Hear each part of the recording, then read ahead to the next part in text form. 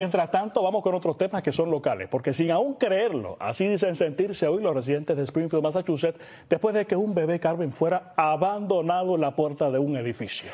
Y bueno, de acuerdo con los vecinos, o sea, amigos, fue gracias a los llantos del bebé que se percataron de lo que estaba ocurriendo allí. Solange Sosa llegó hasta el lugar y nos presenta sus reacciones. Lo dejaron ahí, que en una cajita en el primer piso. Así dejaron al bebé recién nacido justo en los escalones de esta vivienda multifamiliar. Según este vecino, todo ocurrió en medio de una de las noches más frías. Yo estaba afuera fumando y el vecino me dijo que había un bebé llorando afuera. Y yo le dije, ¿cómo va a ser? Me dice que sí, que parece que alguien lo dejó abandonado ahí.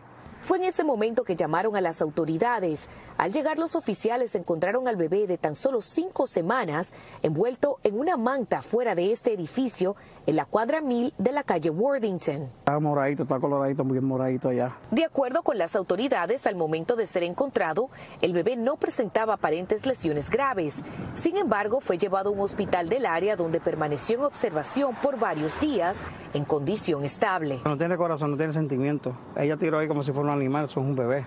Omar y Harry trabajan mecánica en el estacionamiento del edificio.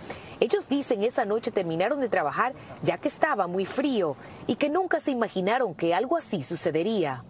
Lo tiró ahí a morirse. Si no hubieran salido estas personas afuera a fumar, ese bebé se moría ahí.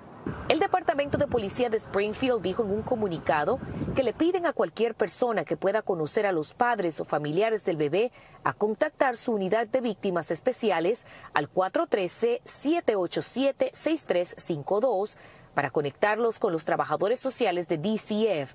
Aseguraron que no habrá cargos penales. En Springfield, Solange Sosa, Noticiero Telemundo, Nueva Inglaterra.